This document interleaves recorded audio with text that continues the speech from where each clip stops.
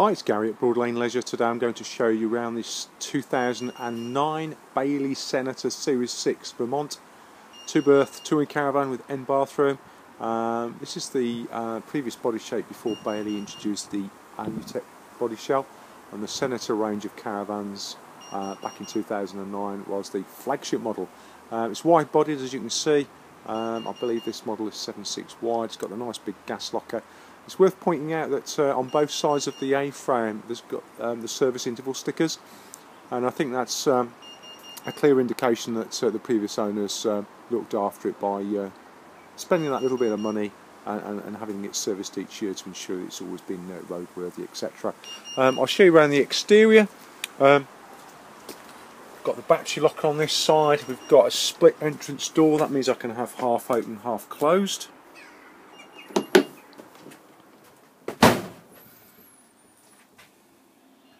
Nice colours as you can see, rich warm colours. Big curved lockers, so lots and lots of storage. Night and fly screens throughout. Um, I will say that you've got a very generous lounge in this model, so you've got the options of two single beds or a double. Chest of drawers, they've got soft closed drawers as well, very smart the way that works too. So your curtains in your modern day caravan is pretty much just for decoration. Heki roof light, lets in lots and lots of light but on a nice warm day you can open that up and use that as a useful vent. Pan around towards the kitchen area. We've got all the nice things like an extractor fan. Good overhead storage there as you can see. Very good size sink unit with mixer tap full cooker with hob grill oven and you've got your pan storage at the bottom there. Um, fridge with freezer compartment and colour coordinated door. That's a nice touch. Very, very easy to use too. Um, opposite then you've got the useful microwave and you've got this low unit here so your first impression as you walk into the van is of uh, lots of space, very open plan, feels a lot bigger than it actually is.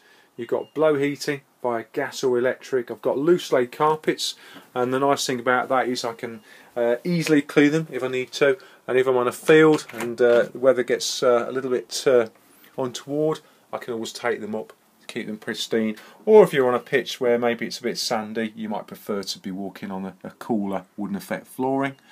Fantastic P-shaped shower, very much your residential style, just like you've got at home.